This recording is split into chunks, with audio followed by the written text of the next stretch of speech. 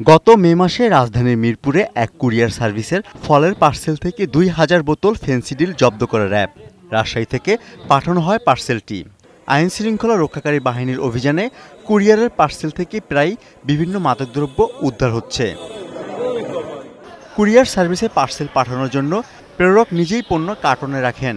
আর গ্রাহকদের আস্থা ধরে রাখতে কার্টন খুলে চেক করা থেকে বিরত থাকে কুরিয়ার সার্ভিস কর্তৃপক্ষ।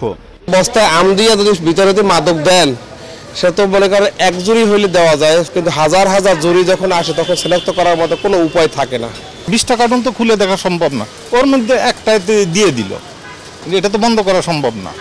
কুরিয়ার সার্ভিস অ্যাসোসিয়েশনের তথ্য অনুযায়ী, দেশে সাতশোর অধিক কুরিয়ার সার্ভিস প্রতিষ্ঠান রয়েছে, যার একশো চল্লিশটি অ্যাসোসিয়েশনভুক্ত, আর লাইসেন্স রয়েছে মাত্র বাহাত্তরটি প্রতিষ্ঠানের। অ্যাসোসিয়েশনের সভাপতি হাফিজুর রহমান পুলক জানান, লাইসেন্সবিহীন প্রতিষ্ঠানগুলো মাদক সরবরাহে জড়িত থাকতে পারে। লাইসেন্স নিয়ে যারা ব্যবসা করছে বা অ্যাসোসিয়েশনের যারা মেম্বার, তারা এটার সাথে মালিক পক্ষের কেউ জড়িত আছে, থাকতে পারে, এটা আমি মনে করি না। এতে বুকিং অফিসার বা যারা কাজ করে তারা কেউ সম্পৃক্ত থাকলে থাকতে পারে। পার্সেলের মাধ্যমে মাদক সরবরাহ বন্ধে কুরিয়ার সার্ভিসের কিছু সীমাবদ্ধতার কথাও জানান তিনি। কুরিয়ার সার্ভিসগুলা এত বড় বিজনেস করে না যে স্ক্যানার কেনা তাদের পক্ষে যে সম্ভব প্রত্যেকটা কুরিয়ারের বিশেষ করে সেটা অসম্ভব। আইন শৃঙ্খলা রক্ষাকারী বাহিনী বলছে সড়ক ও নৌপথে প্রশাসনের তৎপরতার কারণে কুরিয়ার সার্ভিসগুলোকে নিরাপদ বাহন হিসেবে ব্যবহার করছে মাদক ব্যবসায়ীরা।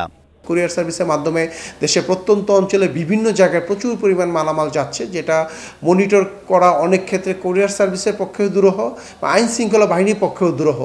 কুরিয়ার সার্ভিসে পার্সেল পরিবহনে গোয়েন্দা নজরদারি বাড়ানো হয়েছে বলেও জানান তিনি।